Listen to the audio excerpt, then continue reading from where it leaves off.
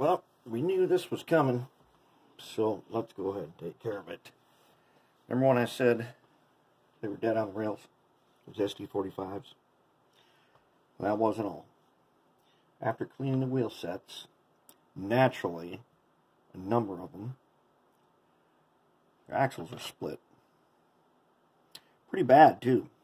In fact, one of them completely split apart. So here's the thing. What are we going to do about that? Well, there ain't much we can do. We have to fix it. Um, there's. I don't want to go cannibalize something to get these out of it, but at the same time, we have another problem. During this contest, these are tested for operation, and they must be operational. Now, if it was just working on my layout, a failure is easily pulled off the layout and repaired and put back on. But in the contest, you get one shot to make it work.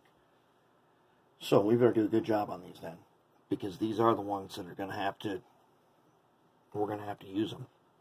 So, using our scientific methods, we've got here some super glue. We got here some baking soda. So let's go ahead. Who's next? Let's do an easy one next. We'll save the hardest one for last after we're warmed up good.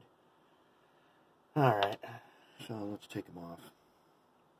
Now, when I put these back on, I need to do another fix.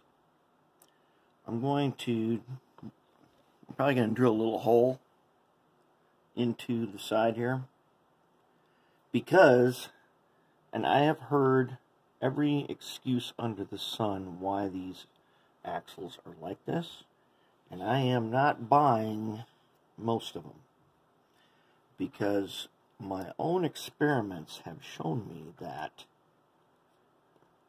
if you look at axles of a generation older, they always had a notch in them. What do you think that notch was for?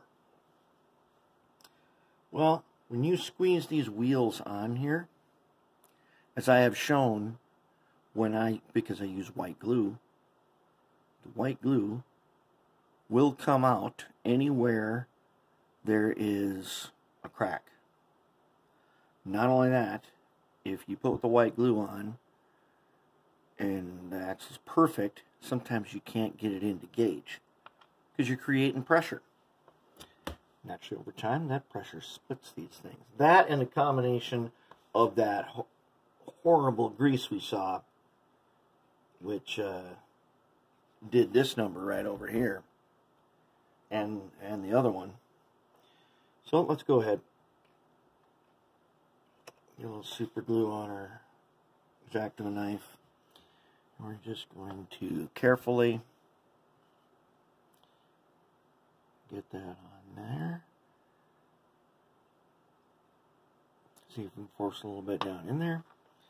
Then let's go ahead and hold it just right. Take a little bit of baking soda.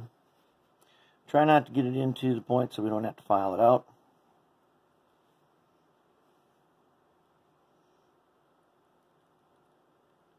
Okay, and then let's touch the end.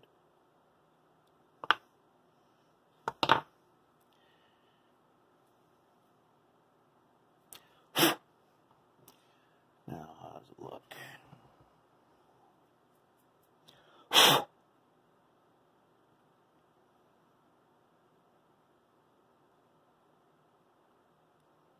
Mm -hmm. Let's give it a squeeze, see if we can, if any glue comes out.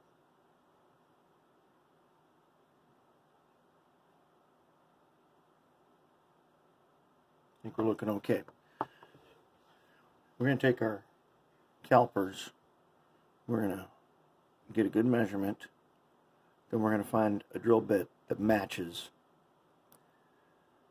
and we will re-drill this hole here. Alright, let's go to the next side.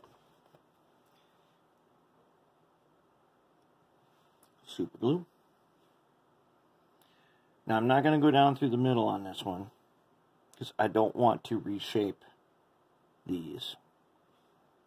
And I don't think I need to.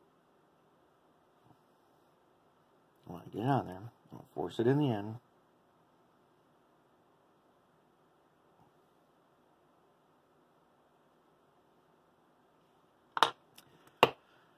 And then I'm going to give it a little bit of a squeeze. Not too hard, just a little bit.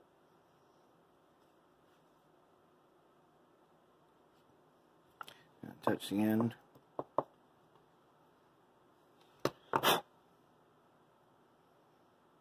And if I did it right, which it looks like I did,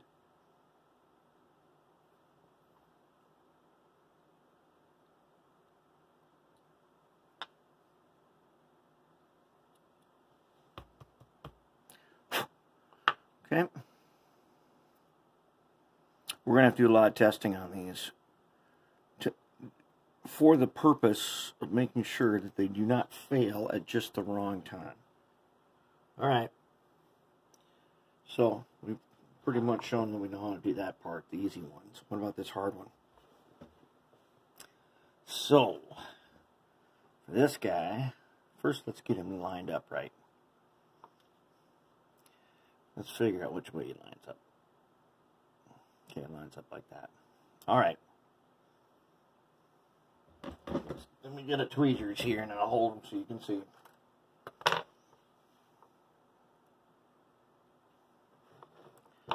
Let's get another tweezers. Use that one to put them on. Okay. So, let's go ahead. Yep, totally apart.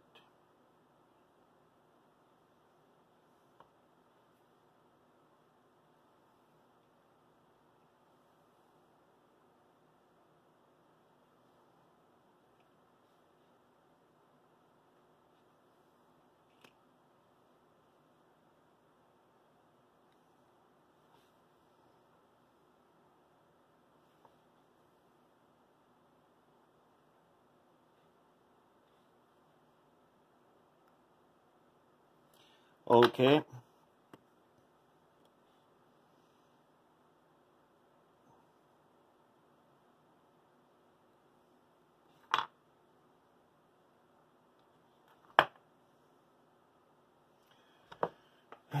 Pliers. Got them.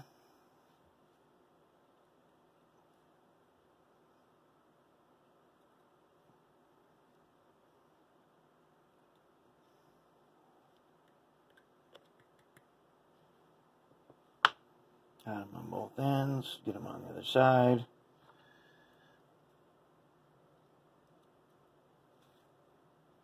There just simply isn't time to buy a new set and get it here in time to use it. Ah, did we get a match?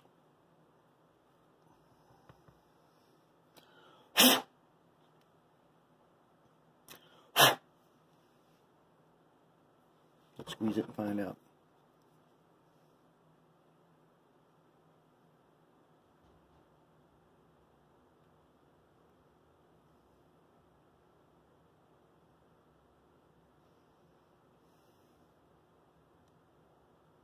I'm going to say that we did it. Looks pretty good. All right. All right, that's how it is. Now I'll just measure up that and get a drill index. I'll drill it out. We'll see it again when we go ahead and put the trucks together. I'll say, remember when we did these? Yep. That's a danger of using that one lubricant that we don't like. All right. It's time to get back to business.